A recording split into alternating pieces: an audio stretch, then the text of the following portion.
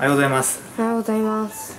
今日は僕の一日の食事メニューを撮ってみたいと思います、えーボディビル大会のちょうど1週間前ということで、まあ、今日は試合前最後の休日なんですけども、えー今の僕の食事はですね朝卵を食べてで昼前お昼夕方と3回連続で鶏の胸肉を食べてます。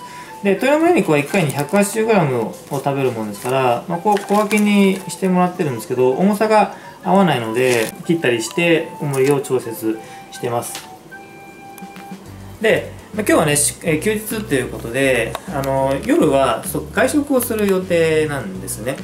で、あのこれ、いつも夜魚を食べるのであの用意してあるんですけど、これはね、賞味期限今日なんですよ。やばいじゃん だからあの外食するとねこれがどうしても余っちゃうっていうことで、まあ、今日はちょっと食事内容を一部変更しようかなみたいな。だから朝ごはんに卵を食べずにあのこの余った鶏肉とあとこれ。で多分ちょっと今から測ってみるけどあのちょうどいい1食分の重さになるんじゃないかなと思うので、まあ、朝ごはんはこれ。であのお昼以降は鶏肉を食べてで夜は、まあ、まだ何食べるか決まってないんですけどもあの、まあ、外に何か食べに行くっていう。じゃあ今日は卵は食べないって。そうそうそうそうそう。珍しいね。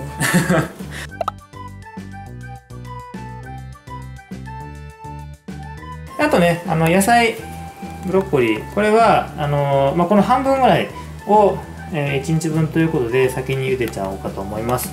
あとこれがねご飯 150g でこれを、えー、と今1日2個食べてるんですけどうん。あの、まあ、今日は夜外食するということで、えーその分のカロリーをちょっと取っときたいので、えーこれだけ朝食べてで昼以降はあの鶏肉とブロッコリーだけにとりあえずねあのしようかなというふうに思います、うん。はい、じゃあ、えっと早速ね、えー作っていきます。はい。あ落ちた。これで火止めて1分半これね魚からすごい油出るからもうあ油引かずにそのまま焼いてます。味付けは？塩コショいつも当て振ろうとするとふわってウはい朝食が完成しました。はい。ちらです。一応あの油が多いからキッチンペーパーでちょっと油をねす吸い取ってみました。あとこれご飯 150g なんだけど今日は納豆納豆をねかけて食べたいと思います。ああれじゃないの？いつもの。あいつもはねふりかけなんだけど、まあ今シーズン初めてちょっと納豆を食べてみようかなみたいななんか冷蔵庫開けたら入ってたから思わず食べたくなっちゃいました。パパが納豆を食べるところはあんま見ない。でも昔よく食べてたよそうそうそうそう。だからまあ1年以上ぶりぐらいかな、まあ、ちょっとねあの久しぶりなんでいただきます、はい。どんな味かなみたいなね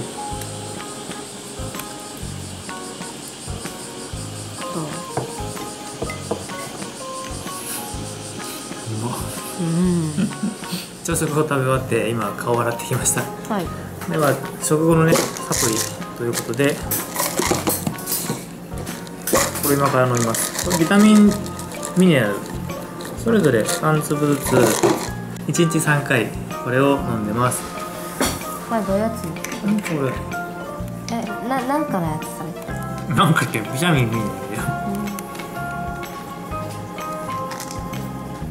はい。今の時間は9時をちょっと過ぎたところで、まあ、ちょっと起きるのが遅くなったから朝ごはんがねあの遅くなっちゃったんですけど一応11時にあの髪を切る予約をしていて今からね1時間ちょっとでもうあの時間来ちゃうんですけどだから2食目がまあ多分髪切った後になるかなということでもしかするとねちょっと、えー結構時間空いちゃうかもしれないのであのはい。あまりにもお腹空いたら、まあこれ家へ持ってってこれを、まあ、スプーン1杯 5g ぐらいポコッと入れてつなげるっていう感じでね、あのーやっていこうと思います。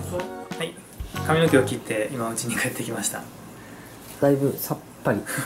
頭涼しいかな。ねそうだよね。パサッと切ったんだけど、まあ、これで当日はジェルでねバシッと固めて頭をちっちゃくね。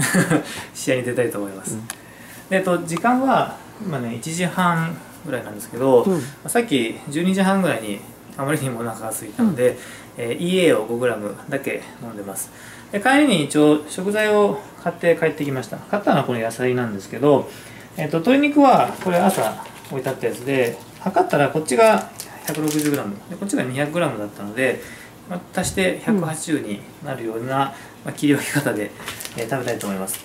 で、えっと、今から食べるのはあの、まあ、この野菜を使って、えっと、ごちゃごちゃにする 混ぜた料理をやろうかなと思うんですけど、でそのために鶏肉を茹でるのとあともう一個はあの弁当用にまあフライパンで焼くとその2種類の調理を今からやりたいと思います。はーい。でまずオクラ。これも一応水洗いしてあります。これを、えー細かく。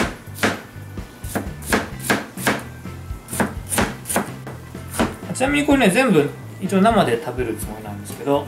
ヘタも食べるの？食べるよ。とじゃあ次アボカド。うんうん。アボカドは十字に切って。で皮をむと。で大きさはまあこれ適当オクラよりちょっと大きめに。大きめなんだ。大きさバラバラにするとうん。食感がねいろいろあ楽しめるんです逆に？そうですね。だらっと折り込んで、繊細じゃないね。男料理だ。うん。で次は玉ねぎを切っていきます。はーい。玉ねぎはまず半分。ねすごい切り方。まな板がちょっと汚れてるからさ。空中で切るっていうのもここ 怖い。でちなみにこれねサラダ玉ねぎって書うんうん。いてあったから買ってきたんだけど、まあこれなら生で生でいけるね。食べてもね。でこれはあのみじん切りにいきます。知ってるみじん切りのやり方？知ってる知ってる。バラバラにならんやつでしょ。そうそうそう。ちょっと久しぶりにやるからねで。これで僕はそうやってやるといいよね。よし。はいこんな感じで。ミートバットね。じゃあ次は鶏肉をね。えー切っていきます。でこっちは焼きます。でこっちはうん。茹でていくので、えー今から鍋に火をつけてでね茹でるやつは1センチぐらいの厚みでうん切っていきます、まあこんな感じで。でこっちはあのフライパンで焼くので火をつけてあと薄く広げます。こんな感じで。でオリーブオイル垂らして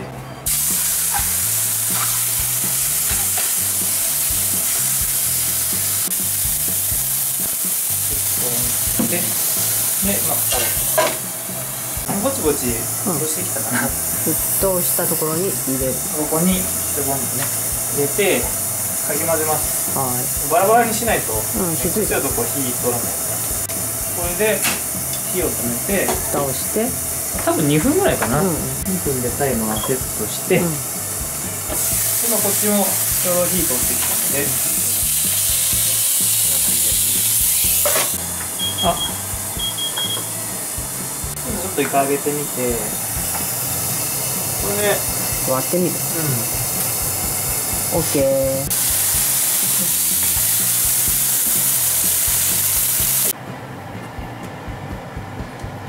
この茹で上がった鶏肉はこうやってこうバラバラに裂いて、うんうん。こう混ぜてね、うんうん。で、まあ、味付けして食べたいと思います。はい。出来上がりましたこんな感じで、うん。まあ、あのおしゃれさのかけらもないけどね。さすがで これここにまとめてね。えーっと、まあ、これを弁当ちょっとにちょっと料理なんですか？弁当にします。あのこれはねちょっとさっきその髪の毛切って帰る時に、うん。急に思い立ったから買ってきた野菜なので、うん。それ食べてみないとどんな食感かわかんない。味付けは？食べたことないよねっていうか味付けは何したの？あ味付けそうそうそう。味付けはじゃあこのうん。クレジーソルトをかけオンリー？うん。食べようと思います。食べたことないってことどんな味かわからない男とりあえ飯ず混ぜて、まあまあでもクレイジーソルトならね。ね。うめちゃくちゃ美味しかったらどうする？またやる。あ じゃあもうしっかり混ぜて。あうん。で、まあせっかくだから4種類いっぺんに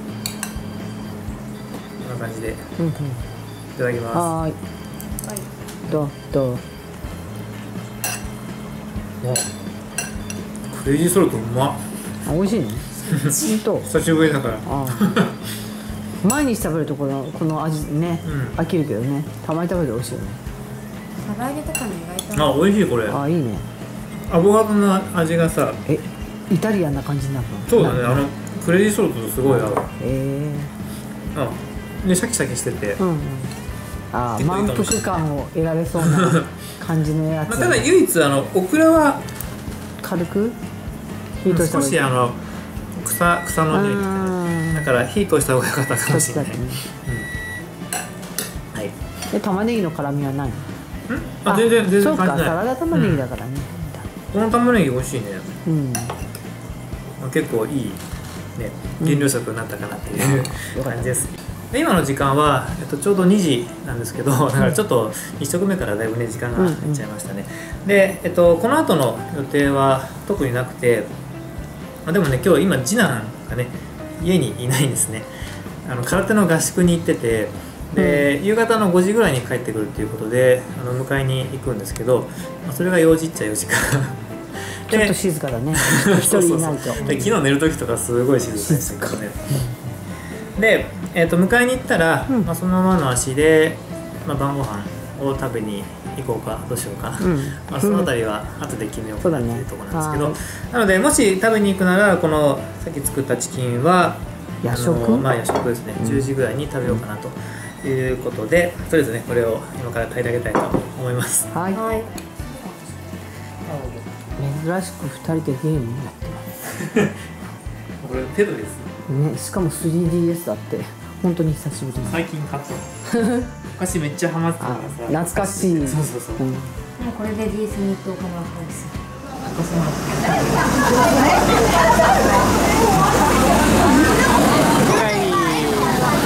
箱何箱。あ優勝のトロフィーですよ。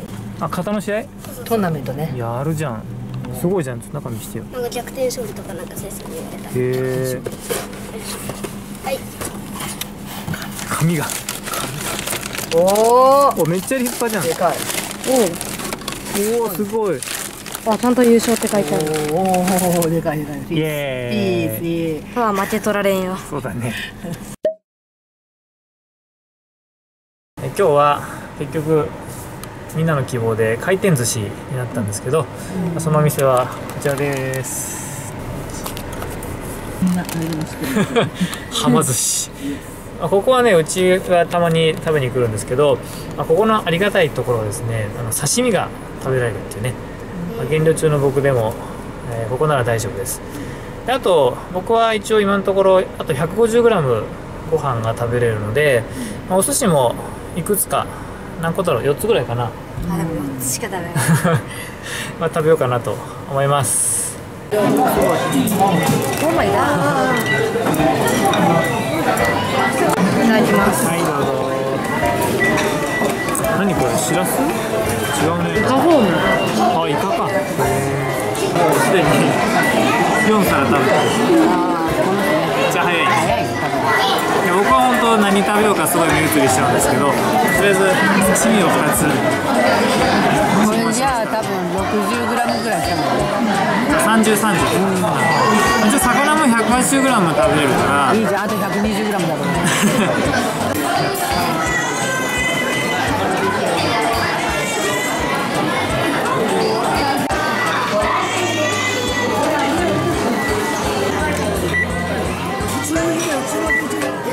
じゃあ次はこのローストビーフとあと味噌汁を頼んだんですけど。ちょっとこのローストビーフがね結構油が多かったですね。食べれない？油だけ取って赤身だけ食べるすごいね。途中でケーキちょっと口の中を甘くしたくなって 握りも注文したんですけど、まあ、散々迷った挙句こちらエビ2貫とあとサバの押し寿司にしていました。組み合わせがすごいね。ああとありがとう。あとこの枝豆も注文していました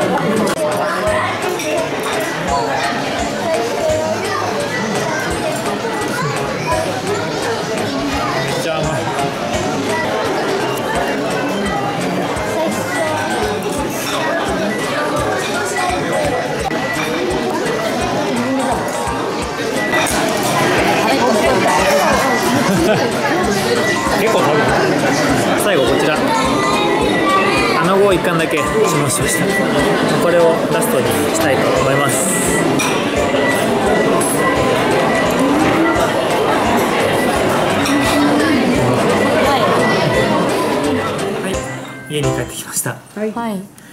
まあ久しぶりの回転寿司だったんだけど、美味しかった。うん。余計美味しいね。そうだね。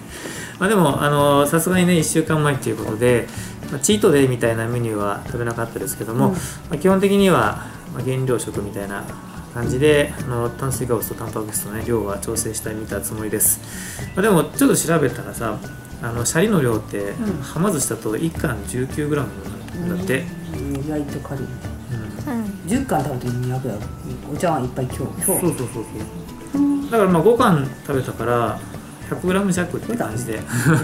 思ったより少なかった。で一応タンパク質も多分150取ってないかなっていう感じなので、まだ両方とも余裕があるなと思ったので、えーちょっと帰り あのこれ。うんうん。ぐらいコンビニで自社も買いました。はいあと鶏肉これ冷蔵庫入れてたんですけどこれがまだ残ってるので、まあこれをあと2時間ぐらいして食べて、まあ、今日の食事は終了ということで。は まあ今日のね一日の食事をとってみました。明日からまたね引き続き、えー減量の方はやっていきます。予定としてはあと3日間月火水と、えー少なめの炭水化物とあとトレーニングですね。をやってで木曜日からはカーブアップをするつもりなんですけども、まあまあカーブアップができるようにあと3日間でしっかりとエネルギーをね使い切るっていうことを意識したいと思います、はいはい。そこで休憩してるけど次男もしっかりとねトロフィー取ってきたからい負けてられない。続けるように、去年も取ってきたしねそう。彼はね。まあ、引き続きお父さん頑張って。頑張りたいと思います、じゃあもうもう大会まで1週一週間じゃあもうあとじゃあ最後にこれしてよ。まあいつもの。いつものやつね。ね。最後に体のチェックをして終わりたいと思います。はい。はい。今の体はこんな感じ、自分的にはどう？まあ、色も絞りもやっぱもうちょっとかな、まあ日焼けはあと2回、うん。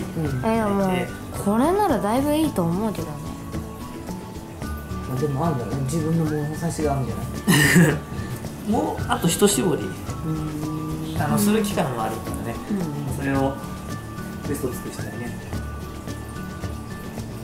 ね当日に合わせてね。うん。標準語